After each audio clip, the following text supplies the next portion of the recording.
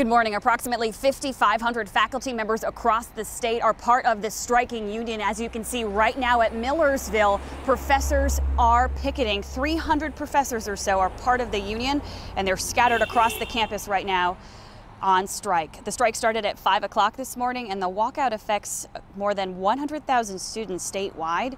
Millersville professors say spirits are high here. They're disappointed, though, and they do want negotiations to end up with more competitive contracts to recruit and retain faculty. Faculty who come here stay here, mostly stay here their whole careers, and we want to make, make sure that that keeps on happening. Students should go to class today, however, because professors could decide to show up. We know here at Millersville, though, there is a student protest plan. They're planning to stick by their professors, and they're going to be protesting today around lunchtime.